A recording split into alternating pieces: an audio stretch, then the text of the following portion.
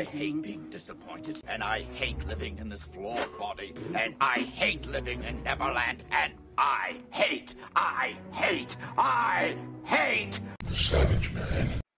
You know, I wish you'd just quit talking about Darien like you know him well. And I don't really care for you talking to him anymore either. Indeed.